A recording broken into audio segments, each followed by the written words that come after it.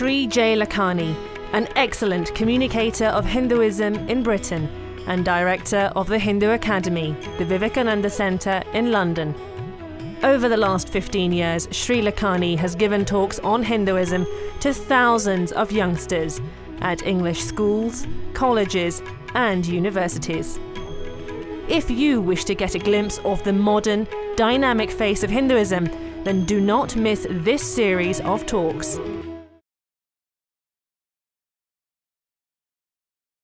What I'm planning to do is to talk about very important thing that we perhaps ignore, the human condition and how to resolve it. See, because we get caught up with our own little kind of projects, etc., and don't to use the bigger picture. Let me begin the journey.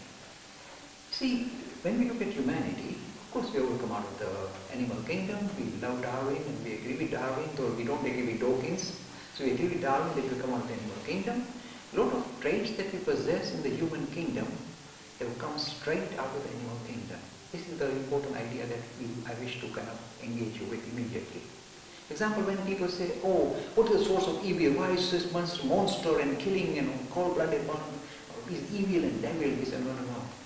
We agree that have come out of the animal kingdom and we have acquired a lot of traits in the animal kingdom which were necessary for our survival. But when we come to the human kingdom, they still continue to infect us and continue to produce this kind of brutal behavior. It's very important insight into the human condition, why we are as we are. I'll just give you some funny examples. You see, in the animal kingdom, food was scarce and we are always searching, trying to survive. And then when we come to the human kingdom, things are different. You've got Morrison's around the corner and you've got the plastic you know, card. So you can now kind of, in a way, make up for lost ground and overeat. So obesity is kind of a natural phenomenon. In the same way, for example, you see the world where there's tremendous competition, tremendous fierce competition. Say this is kind of it's not fair, it's nice to cooperate rather than compete with other human beings. And you say, no, no, the reason why is that again there was a trait we acquired in the animal kingdom. Competition was the name of the game, survival of the fittest was the name of the game. And somehow that trait remains in the human kingdom.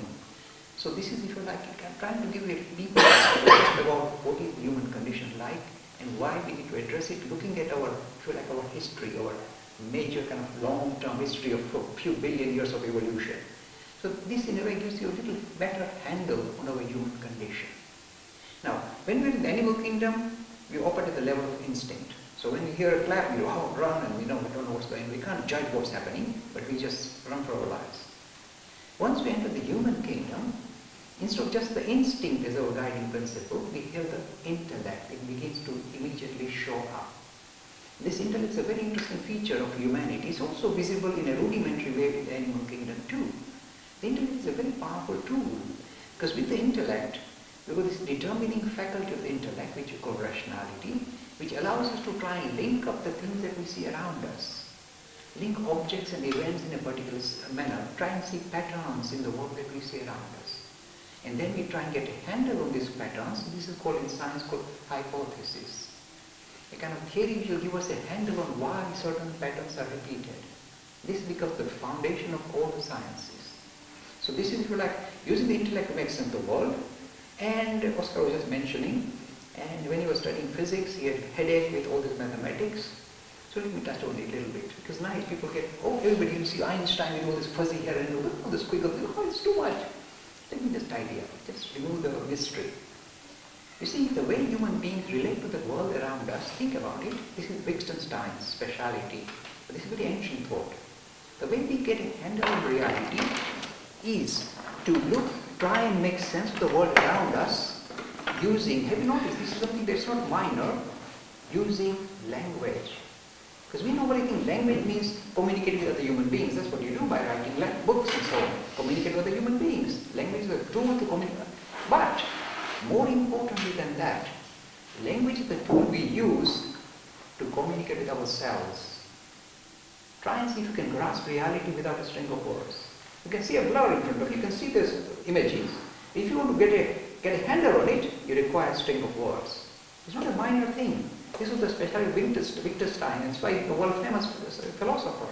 The fact that words are a crucial way to get a handle on reality. And this is not a minor thing because it's so casual, we ignore it and it's not to be ignored. The bigger the vocabulary you have, the better grasp of reality you have. That's what you do. The vaster the vocabulary, the better, the finer the grasp you have of reality. This is the way, if you like, we grab reality. There's something more. To see, I'll show you to what extent we, we become more elaborate.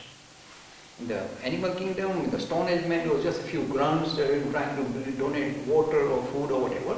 The human kingdom, we, come, we develop tremendous elaborate vocabulary. But I show you the strength of this vocabulary, to grasp reality. I come to physics lobby, background theoretical physics, Imperial College. And as Oscar mentioned, the squiggles on the blackboard or the whiteboard used to give us headaches. Then I thought carefully about it. What is all this? Think about it. All these squiggles you get, which really are kind of horrible, it is nothing more than extremely refined linguistic ploy to get a finer grasp of reality. When you see the squiggles and you say, oh, it's just mental gymnastics which you cannot do using ordinary vocabulary, so you do need those squiggles. So you use those squiggles to do tremendous mental gymnastics, very refined mental gymnastics to get handle on reality. This is my specialty, quantum physics. Moment anybody mentions quantum, go, people go, oh, it's kind of fuzzy and kind of weird and magical, but this is what it is. Just using tremendous mental gymnastics to get a very refined grasp of reality. So language is very crucial. So we discover language and we use it to get, if you like, get a handle on reality outside, but this is called science. This is perfectly fine. But then you see there is another aspect that you forget. When we come to the human kingdom, we have got faculties which we call, if like intellect, is perfectly fine. It tries to articulate the world around us. Then we also have another faculty in the human kingdom, which you perhaps do not, do not in a way kind of you know, accept so easily, or perhaps admit to so easily. That sometimes called our heart. It's not just the head, our heart. You see, what do you mean? You mean to be lovey-dovey or something? No, no, no. By heart, I mean there's something within us which doesn't just want to articulate, put things into boxes and link up the boxes. That's called induction, deduction, logic and all clever. But there's something else that we possess which is not trying to articulate by kind of, it can go into intricate detail, it look in the whole picture. For example, somebody says, what is compassion? Well, how do you define love? It's oh, struggling. See, trying to articulate doesn't work. And one of the best ways to try and grasp things which are beyond words is poetry. That's what we do. So using words to rise above words. Things which cannot be grasped through a string of words, we rise above words using poetry. So the most philosophic material you'll find in the world is poetic in nature. It's never argumentative, lecture, you know, linking and all that. So It's always poetic in gesture. And this aspect of art is sometimes in a way ignored by very strong, stodgy science lobby. No, we know everything. we articulate everything, we know all the physical laws and wow, we can control it, we can send a man to the moon and bring him back alive. Very clever, clever flaws. Good, good for you. In a way, this sometimes becomes, in a way, perhaps very arrogant. And best example, I come from physics lobby, and the best example is in the biology lobby, Richard Dawkins. He's quite sure he knows almost everything. So it needs to be sorted out, he sorted it out. And uh, we have interaction with the humanists and so on. I said, Mr. Like, you know, there's more to us than just the physical world that we encounter. There's much more to us. No, he said, no. You are just the output of matter. There's nothing more to you, Mr. Lakhani. I said, no, no, there's something great more. It is manifesting in the material frame. It's definitely not just output of matter. There's something else to us. And so I have these kind of regular arguments, regular debates with the British Humanist Association. I love to interact in a robust manner, but in an honest and sincere manner. That there's much more to us. And of course, they subscribe to, it's called the Madonna syndrome. Now the Madonna syndrome is very easy. You know, Madonna sings this lovely song, I'm a material girl in a material universe. There's nothing more to me. Now see, this is like showing the highly materialistic aspect that we are kind of adopting, the world is adopting in a big way, in a way it is kind of losing track of our human condition. It's like not addressing our human, human condition. And we see this very visibly. When you become too fixated on the material aspect of our being, do you know what happens? You know very well. You see people just think they are just the body. They must preserve the body. See, if a bit of thing, a bit of the cheek is kind of sagging, must do plastic surgery, lift it up, lift it up, that's me. So rather than grow, you know, all gracefully, they will do all this weird stuff to because they believe the body is them. And this thing doesn't just stop with just plastic surgery.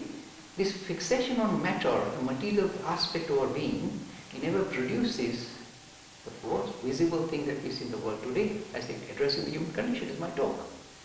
Because a few days back you had headlines. The biggest problem we face is mental health. It's mental health, but how does it relate to your talk, Mr. Lakhani?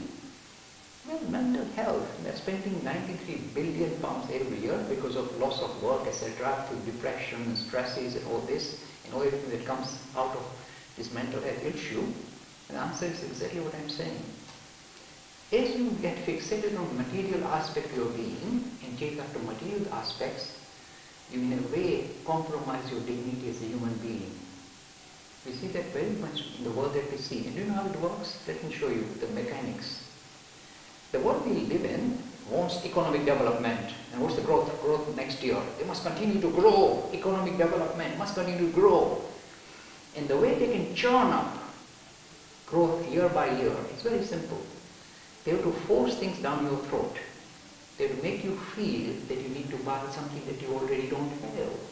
You got iPhone 5, it's oh, it's outdated. You need iPhone 8 now. Otherwise your life is wasted. Now they do it? Through tremendous amount of advertisement. So it's a vicious cycle set up by advertisement, forcing things down your throat that you perhaps don't require, but making you feel, so the aim of advertisement is to make you feel unsatisfied, dissatisfied with what you have. This make you feel satisfied with what you have. You're not going to buy anything. So they must make you feel dissatisfied with what you have and in a way force things down your throat that you perhaps cannot afford. So the duress, etc. You can see the stress is created through these kind of material objectives. And this is creating hell in the on world that we live in. Throughout the world, this kind of tremendous fixation on matter and gaining material status, gaining more material possessions is becoming a major epidemic and it doing tremendous harm. Maybe you are okay financially, physically, you're well fed, but mentally you are in a mess because you've been stressed out. I'm saying that learn to see, if you like, the limitation of this material gain. So the material gain that you require should be enough for your requirements and nothing more. There's something very interesting Gandhi said. He said there is enough in the world for the need of the world, but not for the greed of the world.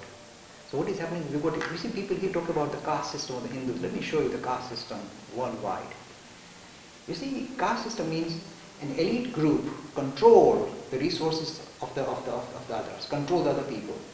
You may think, oh, it's an ancient idea in, you know, visibly India or something. No, it's now.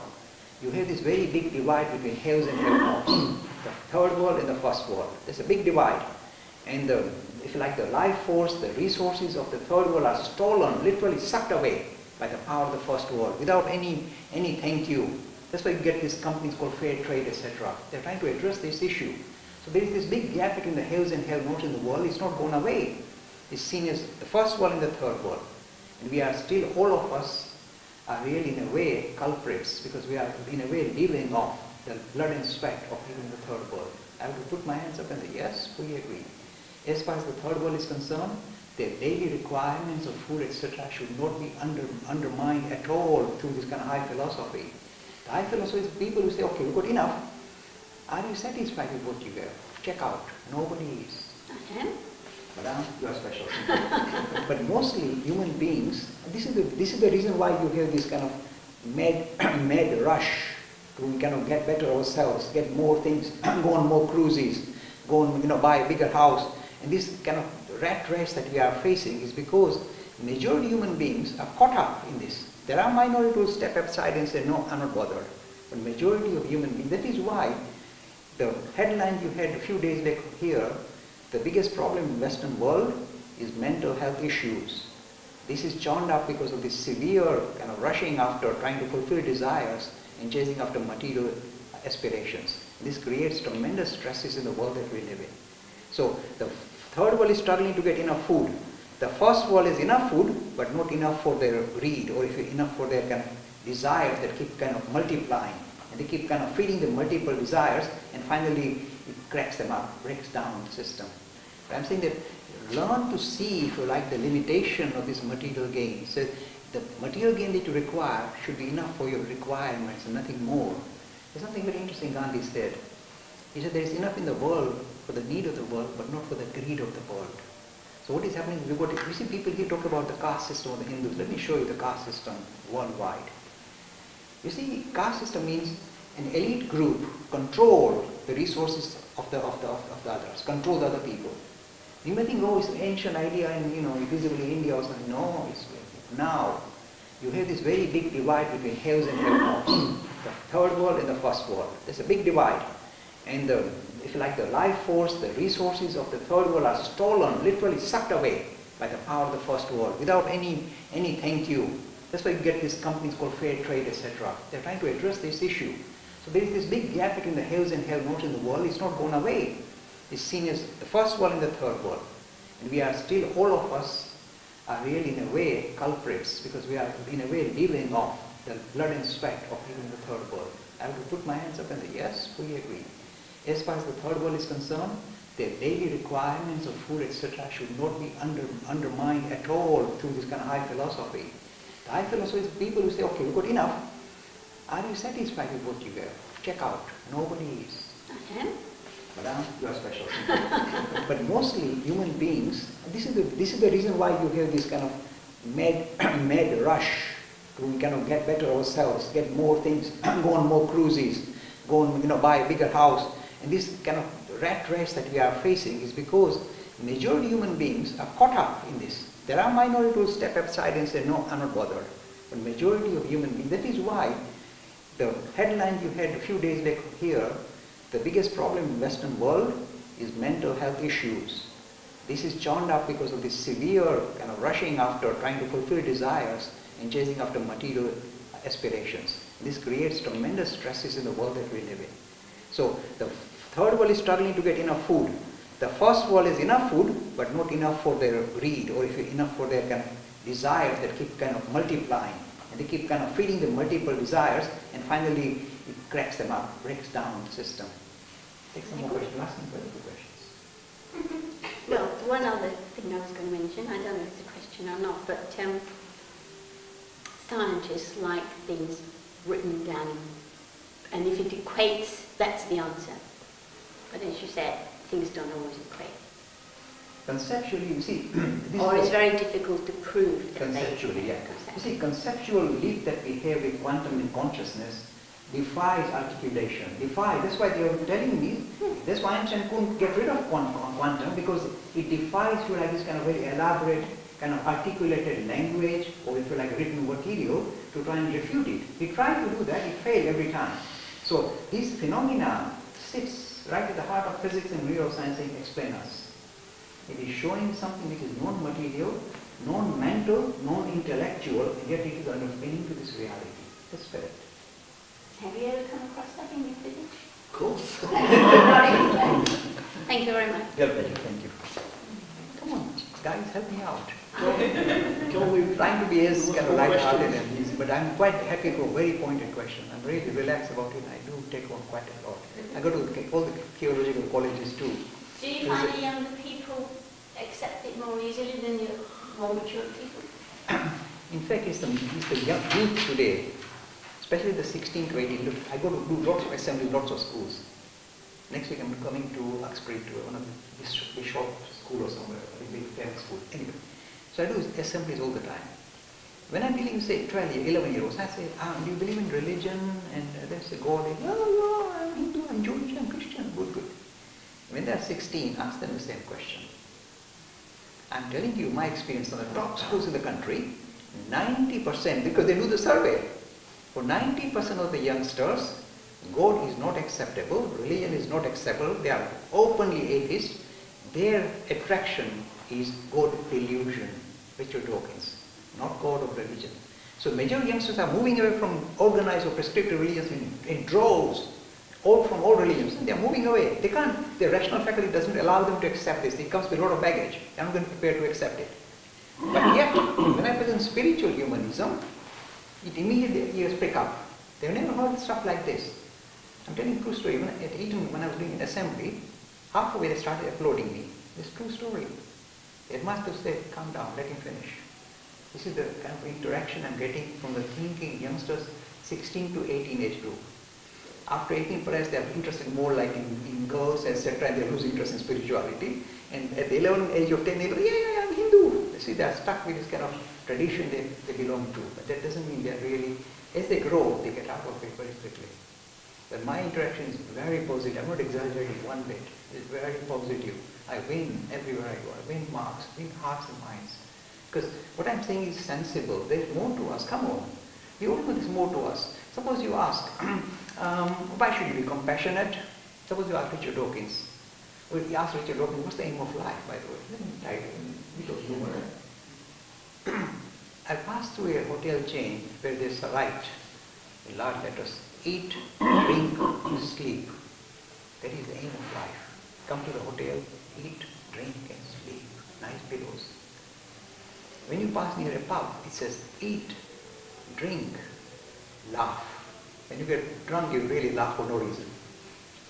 And then you ask Richard, somebody asked Richard Dawkins, what's the aim of life? And this is his answer. He says, eat, drink, and reproduce. That's the aim of life. See, the whole attention is just strictly on a highly animalistic, very materialistic ideal. ideal. And then, of course, in days to come, you pass near undertaker, and you see written on the notice board will be, eat, drink, die. I'm waiting for you. So that's the future. So what is my take? My take is really the aim of life is not just kind of just live, living an animal life, eat, drink and reproduce. So when you ask Richard, why should we be compassionate? You say, oh, it's easy, Mr. Lakhani. Um, uh, it's just this, uh, you know, this nature trying to kind of hang on to the genetic pool. So because you've got the same genes, genes are trying to protect each other, that is why you're compassionate to others. Yes, that is his take on why we should be compassionate. There is a genetic pool being, being kind of presented. This is reality. And of course, doesn't agree with me whatsoever. I say, no, no, no. The reason why you're compassionate is this. Again, I give you one interesting thing. For the British Humanist Association, the golden rule is the way you deal ethically with other human beings. This is called the golden rule. It's Confucius idea, but they've adopted it. It simply says, do unto others as you would like them to do unto you. It sounds like a very clever thing. Come on, this is Richard Dawkins. Oh yeah, do unto others as they would like. So don't, I don't step on your toes, you don't step on my toes, I don't steal from you, you don't steal from me. See what a clever thing. You're sorting human condition out. I said, nothing doing. At best, you're teaching how to live with each other. This is called commerce, business, with other living things. What coming from this particular background, spiritual humanism, is saying, not learning to live with each other, learning to live for each other. How can you live for others? This is the transition from the golden rule, from materialistic humanism, which is saying, okay, just do business with human beings, to this idea of spiritual humanism. The reason why you look after each other or kind of attracted to each other is because underpinning to this thing that is percolating through his eyes the same as through it coming out through those eyes and linked with you the deeper level, not material level, at the deeper spiritual level. The same spirit bubbling through all these individuals. So I see myself reflecting in others. That is why I can't help myself but look after others. I show compassion to others. Why? Because the same thing here is coming out there. I'm linked, I'm stuck. This is the difference. And I, I correctly said at House of Commons once, I said, if you want to distinguish a spiritual humanist from a materialistic humanist, it's very easy, I said. There's a litmus test. When you meet a materialistic humanist, his face becomes screwed up and he gets constipated look. Time for business. I don't step on him, he doesn't step on me. Come on, let's start you know, tussling. When you meet a spiritual humanist, he will smile, he'll light up, he sees himself in you. There's no kind of tension. I have to kind of make sure I keep my record and keep my account. You love each other because you can't help yourself. This is called spiritual humanism. And it's interesting to watch this. It's an interesting litmus test. When you see a person who is truly spiritually inspired, he will light up when you meet him. While if you meet somebody who's kind of just doing business, then you see face gets screwed up. There's a difference, no commerce. Take some more questions. You were talking about God a little while ago. Yes. I ring him from time to time, and he likes to talk to me because I'm an optimist, and I never ask him for anything. But a couple of weeks ago, I did ask him for something. I said, can you fix the human condition because you're missing, you can do anything. So he don't be bleeding stupid, Ray. He said, if I fix everything, he said, nobody will talk to me. It's a very practical boy. it's true, because then you sorted everything out, what's the point? Can I ask a question? Yes, I'll ask from here. No, all right. come on, come. No, this is, this is important, and this is actually almost a sideline, because this, you started talking, you started talking, and then you said some things, I thought, yes, it's really important.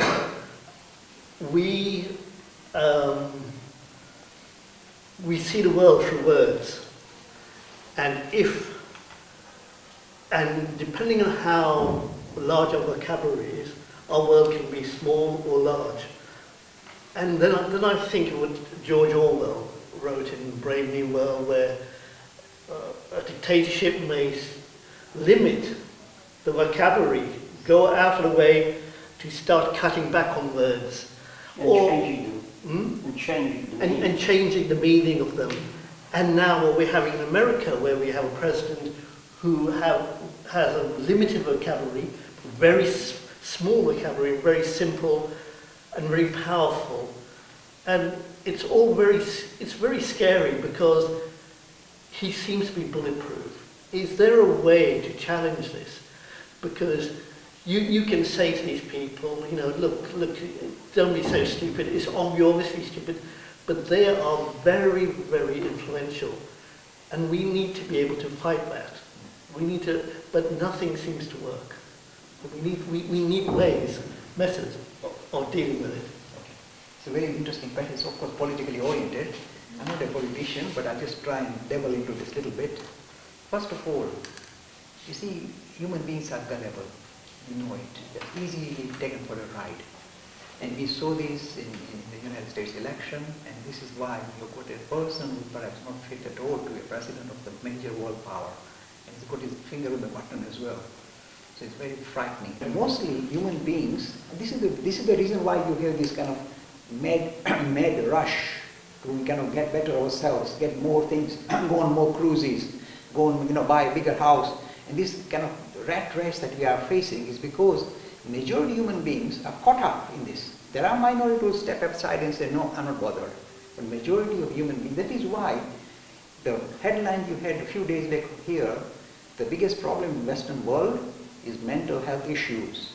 This is churned up because of this severe kind of rushing after trying to fulfill desires and chasing after material aspirations. This creates tremendous stresses in the world that we live in. So the third world is struggling to get enough food. The first world is enough food, but not enough for their greed or if enough for their kind of desires that keep kind of multiplying. And they keep kind of feeding the multiple desires and finally it cracks them up, breaks down the system. Take some more questions, questions. Well, one other thing I was going to mention, I don't know if it's a question or not, but um, scientists like things written down, and if it equates, that's the answer. But as you said, things don't always equate. Conceptually, you see, this Or it's very difficult to prove conceptually, yeah. You see, conceptual leap that we have with quantum in consciousness defies articulation, defies, that's why they are telling me, hmm, that's why Einstein couldn't get rid of quantum because it defies you like this kind of very elaborate, kind of articulated language or if you like written material to try and refute it. He tried to do that, it failed every time. So this phenomena sits right at the heart of physics and neuroscience saying explain us. It is showing something which is non-material, non-mental, non-intellectual, and yet it is underpinning to this reality, the spirit. Have you ever come across that in your physics? Of course. Thank you very much. Yeah, thank you. Come on, guys, help me out. Can we, I'm trying to be as kind of light-hearted and easy, but I'm quite happy for a very pointed question. I'm really relaxed about it. I do take on quite a lot. I go to all the theological colleges too. Do you find the younger people accept it more easily than the more mature people? In fact, it's the, it's the young youth today, especially the 16 to 18. Look, I go to do lots of assembly, lots of schools. Next week I'm coming to Uxbridge to one of the bishop, school or somewhere, a big parent school. Anyway, so I do assemblies all the time. When I'm dealing with say 12, 11 year olds, I say, ah, do you believe in religion? And they say, God, they, oh, I'm Hindu, I'm Jewish, I'm Christian, good, good. When they're 16, ask them the same question. I'm telling you my experience on the top schools in the country, 90%, because they do the survey, for 90% of the youngsters, God is not acceptable, religion is not acceptable, they are openly atheist, their attraction is God delusion, Richard Dawkins, not God of religion. So major youngsters are moving away from organized or prescriptive religions in, in droves, all from all religions, and they're moving away. They can't, their rational faculty doesn't allow them to accept this. It comes with a lot of baggage. They're not going to prepare to accept it. But yet, when I present spiritual humanism, it immediately ears prick up. They've never heard stuff like this. I'm telling true story. When, at Eton, when I was doing an assembly, halfway they started applauding me. This true story. The headmaster said, calm down, let him finish. This is the kind of interaction I'm getting from the thinking youngsters 16 to 18 age group. After 18 perhaps they're interested more like in, in girls, etc. and they lose interest in spirituality. And at the 11 age of 10 they go, yeah, yeah, I'm Hindu. You see, they're stuck with this kind of tradition they, they belong to. But that doesn't mean they're really, as they grow, they get out of it very quickly.